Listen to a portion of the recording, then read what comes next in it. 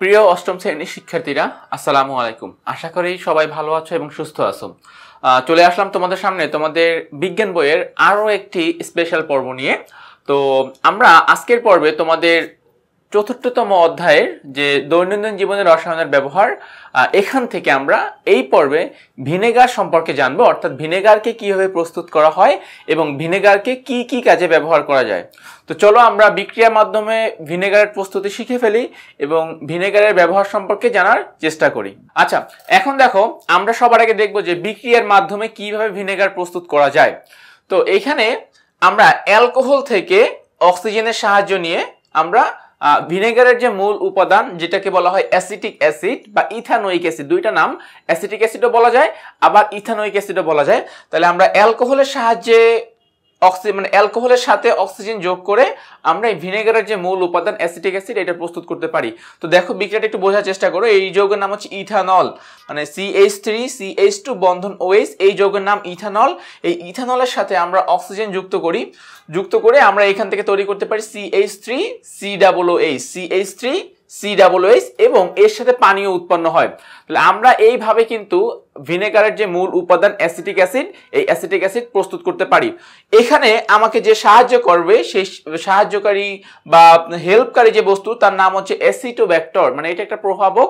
এই প্রভাবকের সাহায্যে আমরা অক্সিজেনের সমন্বয়ে অ্যালকোহল থেকে আমাদের ভিনেগারের যে মূল উপাদান অ্যাসিটিক অ্যাসিড, এটা প্রস্তুত করতে পারি। আর একটা গুরুত্বপূর্ণ তথ্য, এখানে যে অ্যাসিটিক অ্যাসিডের কিন্তু পাঁচ থেকে দশ পার্সেন্ট জলীয় দ্রবণ। মানে বোঝানো হয় যে যদি আমরা একশো ভাগ চিন্তা করি, এই একশো ভাগের মধ্যে total five two ten percent থাকে আমার অ্যাসিড আর বাকি নব্বই ভাগই থাকে কিন্তু পানি। তো বুঝতে হবে যে এইখানে কিন্তু পানির পরিমাণটা বেশি। অর্থাৎ অ্যাসিটিক অ্যাসিড এবং পানির মিশ্রণকে আমরা ভিনেগার বলি, যেখানে পানির পরিমাণ শতকরা নব্বই ভাগ আর অ্যাসিটিক অ্যাসিডের পরিমাণ শতকরা ফাইভ টু টেন মানে শতকরা দশ ভাগ আর কেই এভাবেই শিল্পক্ষেত্রে অ্যালকোহল থেকে তোমার ভিনেগারের যে মূল উপাদান, এই মূল উপাদানটা প্রস্তুত করা হয়। তোমাদের জানার সুবিধার জন্য আমি আরও একটা ইনফরমেশন দিয়ে রাখি। এই যে আমরা যে ইথানল বলতেছি, এই ইথানল কিন্তু পাওয়া যায় স্টার্স গম বা ভুট্টা থেকে আমরা গাজন বা ফরমান্টেশন প্রক্রিয়ায় কিন্তু এভাবে ইথানল ফার্স্টে কালেকশন করি বা কালেক্ট করি দেন সেই ইথানল থেকে অক্সিজেনের সমন্বয়ে অ্যাসিটোব্যাক্টর প্রভাবকের উপস্থিতিতে আমরা ইথানোইক অ্যাসিড বা অ্যাসিটিক অ্যাসিড প্রস্তুত করে থাকি, যেইটা কিনা ভিনেগারের মূল উপাদান।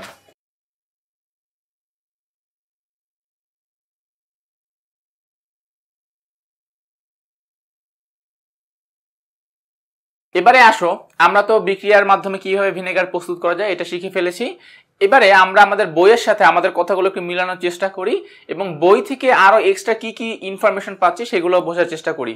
দেখো, শুরুতেই কি বলেছে যে ভিনেগার হলো অ্যাসিটিক অ্যাসিড যেটা সংকেত কিন্তু আমি অলরেডি বলে দিয়েছি যে CS three C double H এর একটি জলীয় দ্রবণ, তার মানে কি এর সাথে পানি মিশ্রিত অবস্থায় থাকবে। আচ্ছা এখানে আরও একটা ইনফরমেশন দিয়েছে গুরুত্বপূর্ণ, এটা তোমাদেরকে মনে রাখতে হবে যে ভিনেগারে five two ten percent acidic acid থাকে। এইটা জাস্ট তথ্যের জন্য মনে রাখতে হবে জাস্ট তোমাদের এক কথায় আসতে পারে বা এমসিকিউ যদি থাকে তখন আসতে পারে যে ভিনেগারের পানির পরিমাণ কতটুকু বা অ্যাসিডের পরিমাণ কতটুকু। আচ্ছা বিভিন্ন ফলের রস থেকে ভিনেগার তৈরি করা হয়। তাহলে ভিনেগার মেইনলি তৈরি করা যায়, বিভিন্ন ফলের রস থেকেও তৈরি করা যায়, অনেকভাবে ভিনেগার তৈরি করা যায়। আচ্ছা তাই বাজারে নানা ধরনের ভিনেগার পাওয়া যায়। যেহেতু বলছে, দেখো, বিভিন্ন ফলের রসের কথা বলছে, তাহলে কি? ফল চেঞ্জ হয়ে গেলেও ফলের মধ্যে থেকে যেই অ্যাসিডটা এই অ্যাসিডটা চেঞ্জ হবে না। তো আমি ভিন্ন ভিন্ন ফল থেকে ভিন্ন ভিন্ন রকমের ভিনেগার পেতে পারি বাট বুঝতে হবে যে এদের মূল যে সংকেতটা C H three C double H এই সংকেতটা কিন্তু সেম বা একই থাকবে। আচ্ছা খাদ্য সামগ্রী, পরিষ্কার, পরিচ্ছন্নতা, ব্যক্তিগত স্বাস্থ্য সুরক্ষা এবং গৃহস্থচারীদের কাজে ভিনেগার ব্যবহার করা যায়। দেখো তাহলে অনেকগুলো পয়েন্টের কথা বলেছে। এক, খাদ্য সামগ্রীর জন্য ভিনেগার পাওয়া যায় বা ভিনেগার প্রস্তুত করা যায়। পরিষ্কার, পরিচ্ছন্নতার জন্য ভিনেগার প্রস্তুত করা যায়। ব্যক্তিগত স্বাস্থ্য সুরক্ষার জন্য ভিনেগার প্রস্তুত করা যায় এবং গৃহস্থচারীর কাজেও হচ্ছে ভিনেগার প্রস্তুত করা যায়। তার মানে আমরা এই সকল সেক্টরে ভিনেগার কি করতে পারি ইউজ করতে পারি। তো এই জন্য বলা হচ্ছে যে এক এক রকম ভিনেগার এক এক রকম কাজ করে। তোমাদের যে এইখানে যে চারটা সেক্টরের কথা বলা হচ্ছে, তো এই চারটা সেক্টর কিন্তু সম্পূর্ণ একটা থেকে আরেকটা পৃথক বা আলাদা। এই জন্য আমরা ভিন্ন ভিন্ন সেক্টরের জন্য আলাদা আলাদা করে ভিনেগার প্রস্তুত করতে পারি। এখন দেখো ভিনেগারের ব্যবহারটা কি? তো ভিনেগার এই ওয়ার্ডটা শুনলেই মাথায় আসে আচার, যে ভিনেগার দিয়ে আমরা প্রধানত আচার সংরক্ষণ করে থাকি। তো আমি এখন তোমাদেরকে ভিনেগারের ব্যবহার সম্পর্কে বলব এবং ভিনেগারের সব থেকে গুরুত্বপূর্ণ যে ব্যবহার আচার সংরক্ষণ করা যায়, এই আচার সংরক্ষণ করার পদ্ধতি সম্পর্কে বোঝানোর চেষ্টা করব। দেখো, ভিনেগারের খাবার সংরক্ষণের কৌশল। আচ্ছা তো এই যৌগের নাম হচ্ছে গিয়ে অ্যাসিটিক অ্যাসিড। শেষে অ্যাসিড শব্দটা আছে, তার মানে বুঝতে হবে যে অ্যাসিড যে সকল বৈশিষ্ট্য প্রদর্শন করে, এই এই যৌগ আর কি, অ্যাসিটিক অ্যাসিডও সেই সকল বৈশিষ্ট্য প্রদর্শন করতে পারবে। তো অ্যাসিটিক অ্যাসিডকে যদি আমরা বিয়োজিত করি, তাহলে সেখান থেকে পাবো আমরা অ্যাসিটেড আয়ন এবং হাইড্রোজেন আয়ন। কারণ আমরা জানি যে অ্যাসিড মানে কিন্তু সে তোমাকে হাইড্রোজেন আয়ন বা প্রোটন দেওয়ার সক্ষমতা থাকতে হবে। তো এখান থেকে কিন্তু আমরা প্রোটন দেওয়ার যে সক্ষমতা সেই সক্ষমতা পাচ্ছি এবং এর সাথে পাচ্ছি আমরা অ্যাসিটেড আয়ন। ওকে এরপর খেয়াল করো, এই যে হাইড্রোজেন আয়ন, এই হাইড্রোজেন আয়নের একটা শক্তি আছে। এই শক্তি দিয়ে এসে কি করতে পারে? ব্যাকটেরিয়াদেরকে মেরে ফেলতে পারে।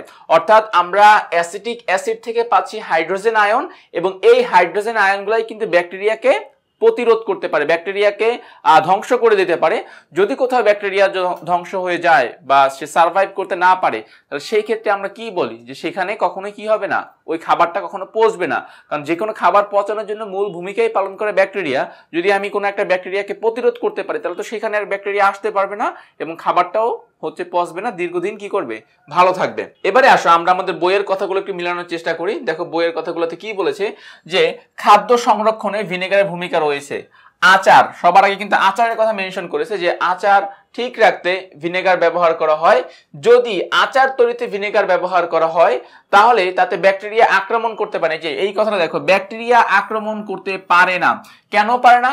কারণ ভিনেগারের অ্যাসিটিক অ্যাসিডের যখন আচারে দেওয়া হয়, তখন সেখান থেকে ত্যাগকৃত প্রোটন এইচ প্লাস বলতে প্রোটন, যেটাকে আমি একটু আগে তোমাকে দেখালাম, তোমাদেরকে দেখিয়েছিলাম যে এই যে এইচ প্লাস বা হাইড্রোজেন আয়ন এই হাইড্রোজেন আয়ন বলতে প্রোটনকে বোঝানো হচ্ছে, ব্যাকটেরিয়াকে ধ্বংস করে দিতে পারে। এই যে ভিনেগারের মধ্যে যে এইচ প্লাস থাকতেছে, এই এইচ প্লাস তোমার ব্যাকটেরিয়াকে ধ্বংস করে দিতে পারে বা এই প্রতিরোধ করতে পারে।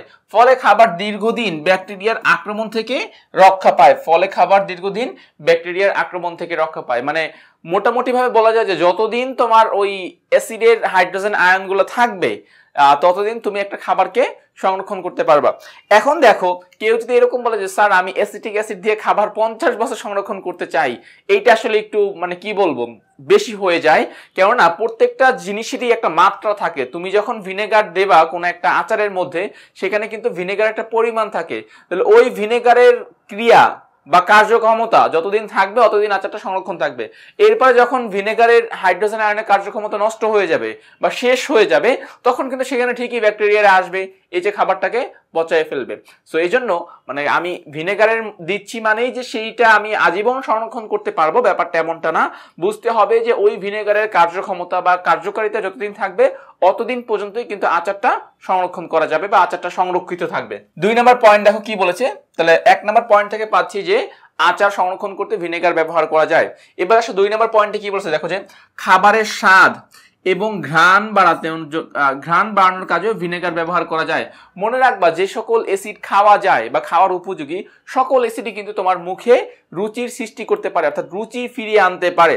তো ভিনেগার যেহেতু একটা অ্যাসিড এবং এটা আমরা গ্রহণ করতেছি খাবারের সাথে, তাহলে অবশ্যই এটা খাবারের স্বাদকে বৃদ্ধি করে ফেলবে এবং ঘ্রাণ, ঘ্রাণটাকে হচ্ছে গিয়া বাড়ানোর কাজে আমরা এই ভিনেগারকে ব্যবহার করে থাকি। তিন নাম্বার দেখো কি বলছে? আয়না, কাঁচ কিংবা টেবিল পরিষ্কার করতে রান্নাঘর কিংবা বাথরুমের দুর্গন্ধ মুক্ত করতে এবং গৃহস্থালির কাপড়, কার্পেট কিংবা সোফায় দাগ দূর করতেও ভিনেগার ব্যবহার করা যায়। অর্থাৎ ভিনেগারকে আমরা চাইলে পরিষ্কার, পরিচ্ছন্নতার কাজেও কখনো কখনো আংশিকভাবে ব্যবহার করতে পারি। যেরকম তিন নাম্বার পয়েন্টে কিন্তু সম্পূর্ণ বাসা বাড়ি পরিষ্কার সংক্রান্ত যে বিষয়গুলো আয়না হতে পারে কাজ হতে পারে, টেবিল পরিষ্কারক হতে পারে, রান্নাঘর কিংবা বাথরুমের দুর্গন্ধ মুক্ত করতে, আর কি, অর্থাৎ এই দুর্গন্ধটা দূর করার জন্য আমরা ভিনেগার ব্যবহার করতে পারি।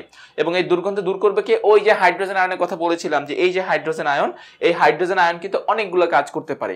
এর মধ্যে সে ওই যে দুর্গন্ধটাকেও সে দূর করতে পারে। আচ্ছা দেন কার্পেট সোফা এবং কাপড়ের দাগ তুলতেও ভিনেগার ব্যবহার করা যেতে পারে।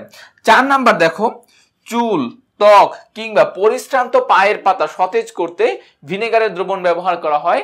তো যদি কারও এরকম যে চুলে সমস্যা অথবা তার ত্বকে সমস্যা হচ্ছে কিংবা তার পায়ের পাতাটা একটু মানে রুক্ষ হয়ে গিয়েছে, এরকম যদি হয়, তাহলে সে কিন্তু ভিনেগারের দ্রবণ ব্যবহার করে, আর সে চাইলে তার এই সমস্যাগুলো সমাধান করে ফেলতে পারবে।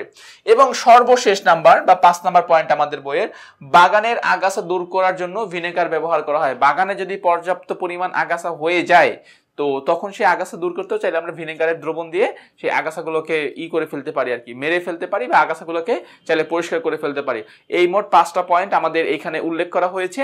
তো আশা করি এই পাঁচটা পয়েন্ট সবাই বুঝতে পেরেছে এবং তোমাদেরকে কিন্তু এই জিনিসগুলো একটু ভালোভাবে জানতে হবে। যেরকম আমাদের এখন এক কথা উত্তর হোক বা তোমাদের নতুন কারিকুলামে যদি এমসিকিউ থাকে, তাহলে এই পয়েন্টগুলো যে বাগানের আগাছা দূর করতে কোনটি ব্যবহার করা হয়, এরকমভাবে কোশ্চেন আসতে পারে। তারপরে খাবারের স্বাদ এবং ঘ্রাণ বাড়ানোর জন্য কোনটি ব্যবহার করা হয়, এই টাইপের কোশ্চেন আসবে। অতএব পয়েন্টগুলো তোমাদের অবশ্যই অবশ্যই ভালোভাবে জানা থাকতে হবে। কারণ যখন তুমি পয়েন্টগুলো ভালোভাবে জানবা, তখন তুমি কিন্তু এখান থেকে আর যে কোনো ধরনের প্রশ্নে তুমি আর আটকাবা না, তুমি অবশ্যই সেখান থেকে খুব ইজিলি মানে ওভারকাম করে যেতে পারবা। তো এই হলো আমাদের ভিনেগার রিলেটেড যতটুকু ডিসকাশন ছিল বইয়ের মধ্যে, আমি সেইটুকু করার চেষ্টা করেছি। আশা করি তোমরা সবাই এই অংশটুকু সুন্দরভাবে বুঝতে পেরেছ। তো আজকের পর্বটি আমি এখানেই শেষ করতেছি। নতুন কোনো বিজ্ঞানের পর্ব নিয়ে আবার তোমাদের সামনে উপস্থিত হব। ততক্ষণ তোমরা সবাই ভালো থাকো, সুস্থ থাকো এবং টেকনিক ইজি এডুকেশনের সাথে থাকো। আল্লাহ হাফেজ।